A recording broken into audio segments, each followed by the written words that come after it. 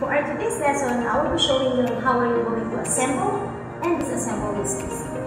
But before that, you have to know first the following.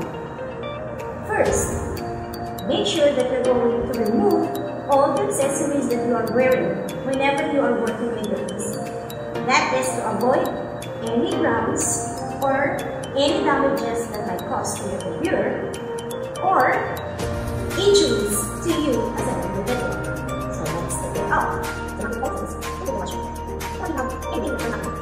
Second, make sure that the computer is being turned off and it has been unplugged to the side.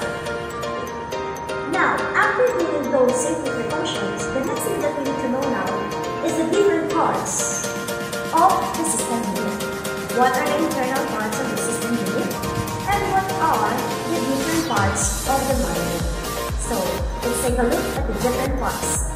Come on. So, let's take a look at the different parts now of the computer or the system. First, we have here the hard disk. So, this is the hard disk. It is where all the application program will installed and all the documents that you are currently working on with your computer can be seen in this hard disk.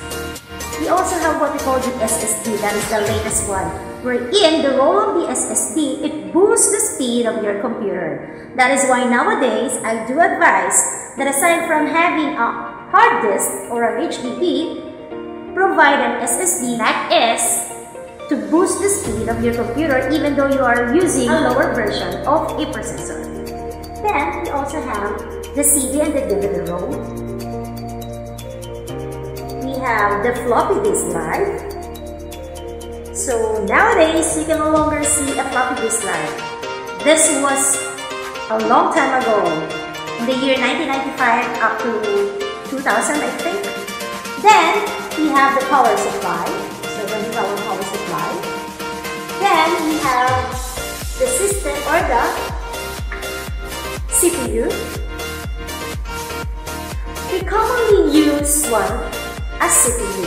Actually, this one is the system unit. For the CPU we're in, it is also called the brain of the computer is inside the system unit. And this is our CPU. Take a look at it. So we have the CPU.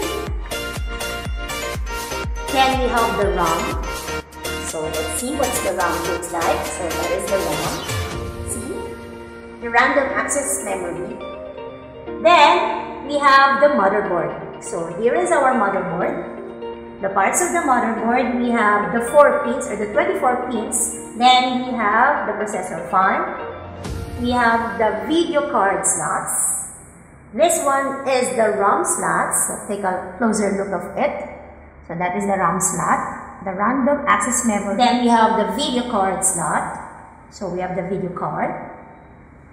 So we have the CMOS. So there. It is where you can see our battery. The purpose of the battery is for the date and time of our computer. The question is, can we still use the computer even without the battery? Yes, but on a later part or later on, you're going to encounter already a problem. So, that's why the CMOS battery is very important in our computer. So, let's take a look at the different parts.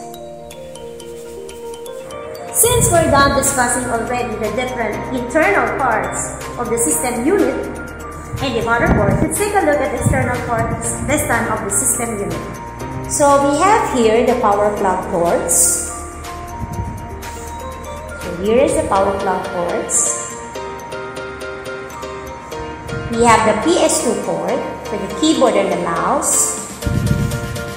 Usually, or before, we are using that one for us to attach the mouse and the keyboard. But nowadays, we are using already a USB or the backward compatible. We are using a USB to attach the mouse and the keyboard. Then we have the serial ports, the VGA port, for you to have a display in your monitor. We have the USB port, or what we call the Universal Serial Bus.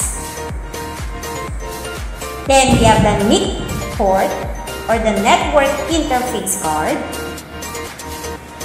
then the sound. So those are the different external parts of the system unit.